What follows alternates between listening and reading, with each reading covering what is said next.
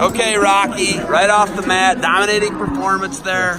First off, are you about 6'2", 6'3"? yeah, six two and a half.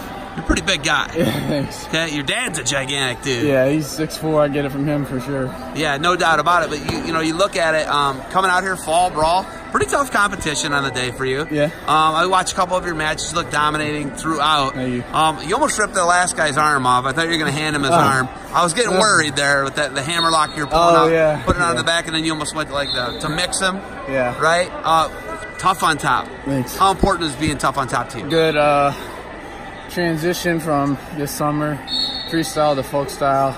Just had to get in the room more. Still have to, but uh, it's very important.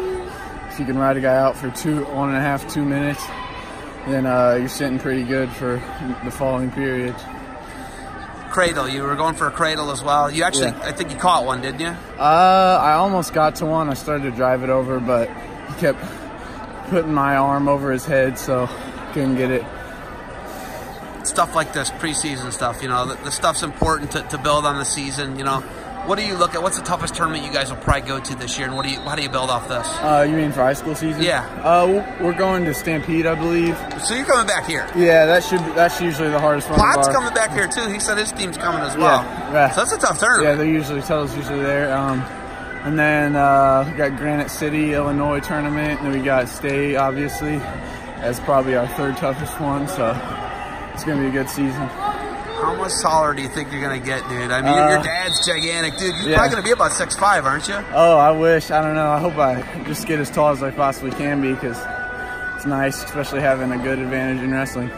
Okay, so you and your brother wrestle a lot. Yeah. Does it always turn into a fight? Uh, no, not anymore. no, we uh, we train together a lot, and it's really fun training with him and Chachi and uh, uh, just everybody else in the room. It's a lot of fun. When did it stop turning into a fight? Uh, when I was probably a sophomore. Yeah? we started to get along. Yeah, I started to mature a lot more, and uh, we just stopped fighting. College choices. What are you thinking right now? Where, what are you? What are you doing? Um, I don't know yet. I went on a visit to Mizzou, and that's the only visit I've taken. But Your brother goes I'm to Mizzou, right? Yeah, yeah, he does.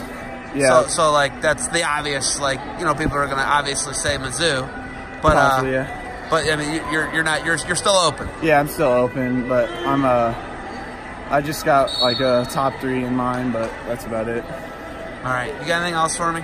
Uh, no, just thank you to all my coaches and everybody supporting me and everybody training with me and everything. What are you doing with that? rock? What are you doing with the, the Jason Voorhees mask? Uh, I'll definitely wear it when I drive. I got a mask I wear when I drive right now, but that that'll substitute it probably. You're joking. No, I swear. You wear a mask? I wear a mask when I drive, but uh, that'll probably. It's really not safe. Uh, it's, Cuts off your peripheral vision. I'm just saying. Yeah, but that'll probably substitute it or be a secondary. All right, hey, be safe. Please don't dri wear your, your mask. you got anything else for me? You good? Uh, that's it. Thank Hey, you. Thank congratulations on the title. Thank you.